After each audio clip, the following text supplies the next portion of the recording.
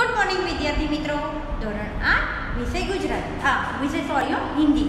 એની અંદર પાઠ ત્રીજો આપણે અંતરિક્ષ પરી સુનિતા વિલિયમ્સમાં ભણ્યા હતા. તો એનું આપણે આગળ પાઠ લઈએ. કે સુનિતા વિલિયમ્સ પંડ્યા? એમનું સરનેમ, એમના પપ્પાના ઘરે એમનું પંડ્યા હતું, સરનેમ અને એ વિલિયમ્સ કેવી રીતે બન્યા એની આપણે જોતા હતા કહાની.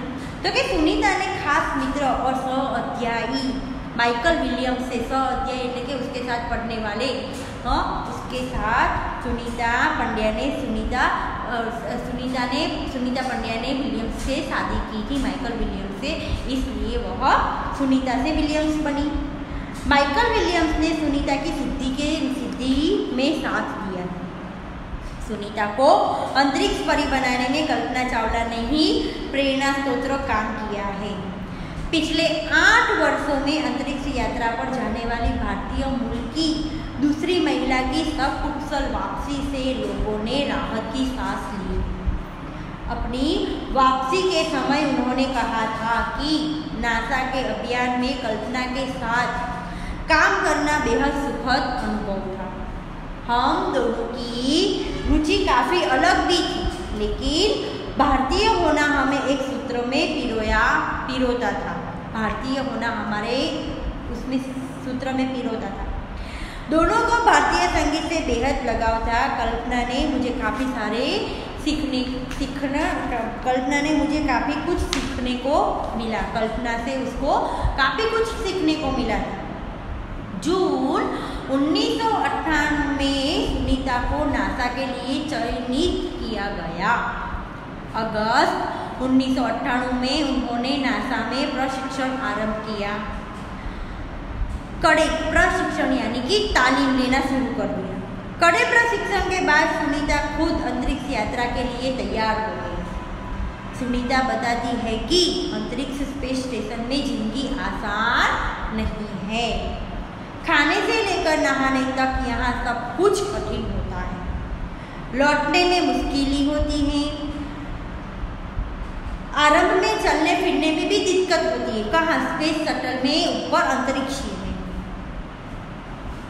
दिमाग तैयार होने में समय लगता है। सुनीता ने खुद को अंतरिक्ष प्रशिक्षण यानी कि तालीम के लिए तैयार किया।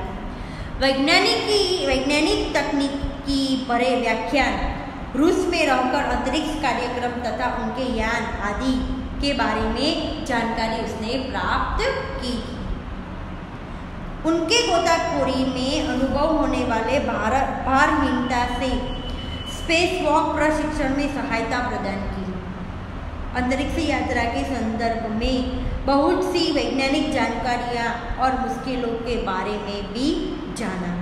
वे अंतरिक्ष के संभव संभवित खतरों से खेलने के लिए पूर्णतः तैयार हो चुकी थी। सुनीता, पूरी तैयारी के लिए नौ दिन देखो, अंतरिक्ष में जाने के लिए पूरे नौ दिन वह पानी में रही थी। प्रशिक्षण खत्म होने में करीब आठ साल हुए थे। देखो अंतरिक्ष में जाने के लिए उसने पहले जो तालीम लिया था, उसमें आठ साल लगे थे। डिस्कवरी अभियान फ्लोरिडा से कैनेडी स्पेस सेंटर से फ़्लाइट इंजीनियर के तौर पर डिस्कवरी मिशन में शामिल होने के बाद, देखो, फ्लोरिडा डिस्कवरी मिशन के उसको स्पेस स्टेशन तैयार हुआ था। 10 दिसंबर 2007 अटलांटिस अंतरिक्ष यान से सुनीता स्पेस स्टेशन पहुँची। 17 दिसंबर को अंतरिक्ष में चहलकदमी की, यानी कि उसमें गए, वह आगे निकले। पृथ्वी से 360 किलोमीटर की दूरी पर कक्षा में स्थित अंतर्राष्ट्रीय अंतरिक्ष स्टेशन की गति प्रति घंटे सत्ताईस हज़ार सात सौ चौवालीस किलोमीटर थी।